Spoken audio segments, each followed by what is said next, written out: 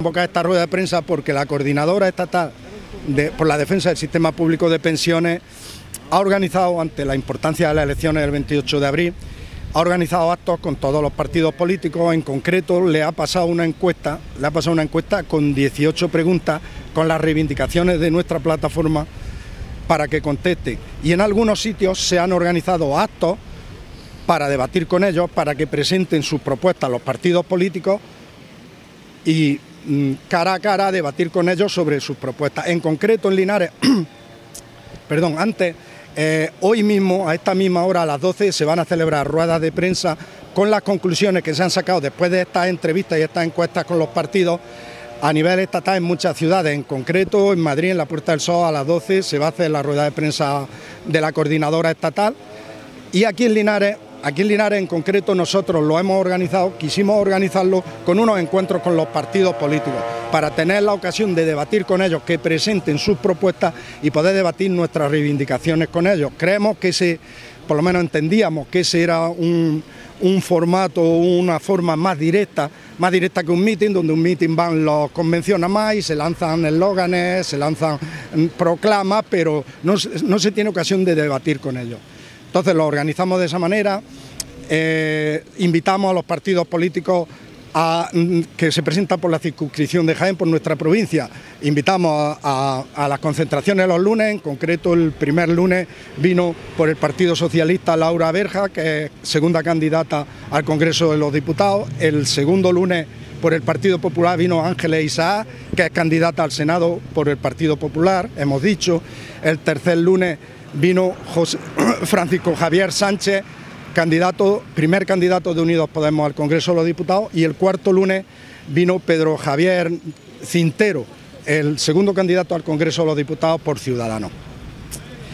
Mm, de, esta, de estos encuentros creemos que la ciudadanía, las personas que asisten, las personas que nos siguen por medios de comunicación,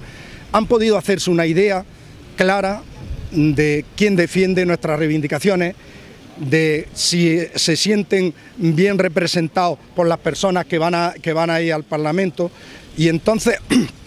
hemos tenido ocasión, como decía, de debatir, de debatir con ellos eh, nuestras reivindicaciones en materia que ya son sabidas, de revalorizar las pensiones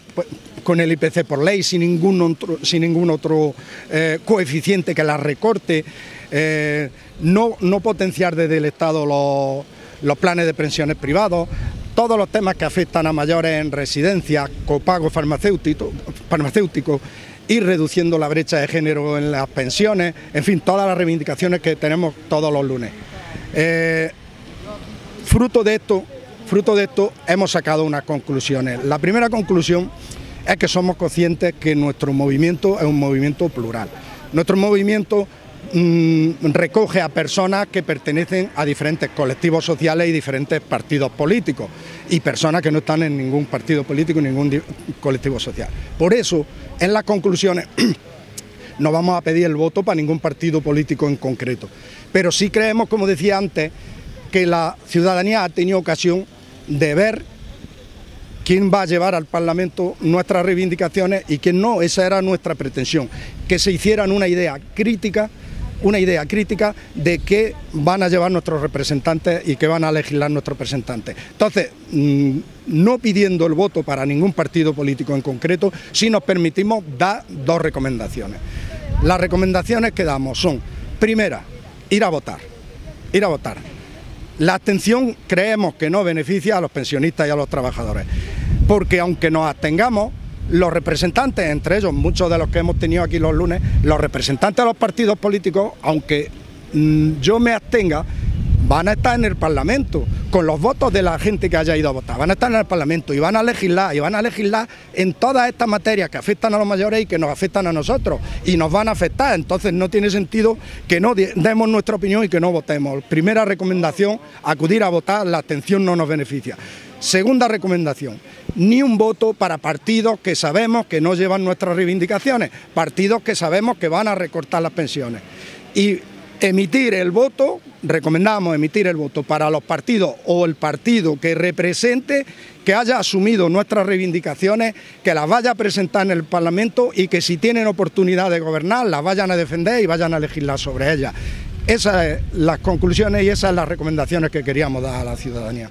Eh, la ciudadanía es libre y ya madura y eh, le hemos dado la opción de que eh, conozcan de primera mano y no solamente un meeting cuando los, políticos llegan y en campaña electoral sueltan el meeting y se largan. Aquí han tenido que venir y, contestar a las preguntas que se le hacían desde nuestra, las personas, nosotros y la gente que venía. Y entonces pues yo creo, entendemos que habrán sacado unas conclusiones claras de quienes están a favor de la mayoría, pero no solamente de las pensiones actuales, sino estamos mirando hacia un futuro. Eh, quiénes van a, legislar, quiénes van a, legislar en positivo y quiénes no quieren legislar en positivo. Eh, ¿Quién votó el día 6?